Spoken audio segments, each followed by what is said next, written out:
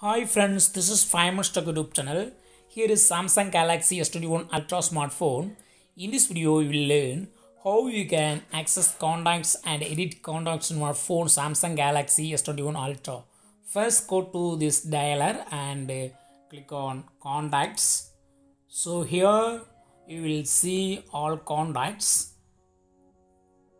Tap on it, uh, you can see the number if you want to set speed dial. Go to these three dots and click on speed dial numbers and uh, you can set a speed dial.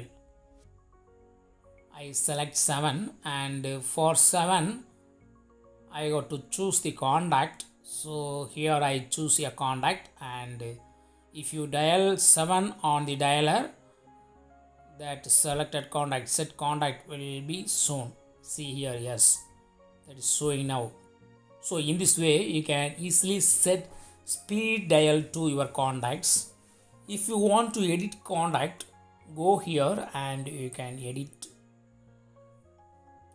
Use this button to edit and you can add email or another phone number or address whatever you want. Here i just uh, write email to this contact. So in this way you can easily edit your contacts also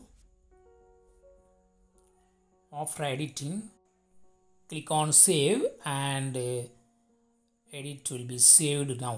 In this way you can easily do it. That's all friends